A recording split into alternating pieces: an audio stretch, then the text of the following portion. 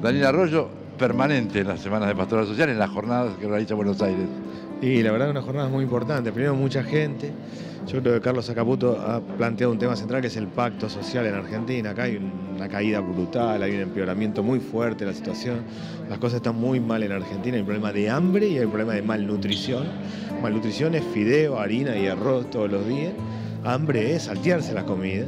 Sobre esa base necesitamos un pacto, necesitamos parar la caída, resolver el problema del costo de los alimentos básicos en Argentina, desendeudar a la familia porque todo el mundo está endeudado, discutir estas cosas que hacerlo entre todos y realmente reconstruir Argentina es una convocatoria que está hoy la Iglesia, creo yo, liderando, planteando que hace falta un pacto. Lo hizo la Iglesia en el 2001 y me parece que es muy necesario hoy. Recién lo hablaba con Héctor Daer. Tener un panel, por ejemplo, para nombrar uno, pero donde estaba Héctor, digamos, como representante gremial o sindical.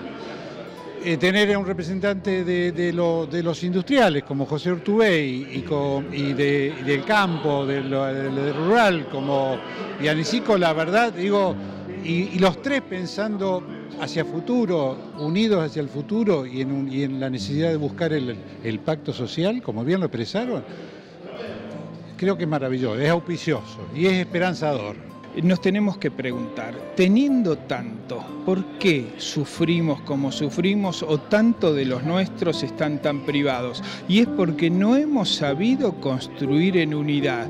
Es una materia pendiente, cada uno, cada sector y cada persona tiene que poner lo suyo.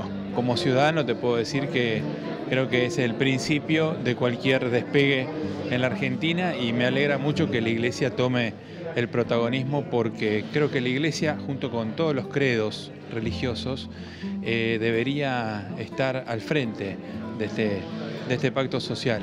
Si vos tuvieras que marcar algunas prioridades para ese pacto social, ¿cuáles serían a partir de esos problemas que vos bien acabas de mencionar recién y que son ciertamente los que todos vemos? Yo creo que son cuatro. Una es los 11 productos de canasta básica tienen que ser accesibles, tienen que ser baratos en Argentina. Lograr controlar el precio de los 11 productos de la canasta básica.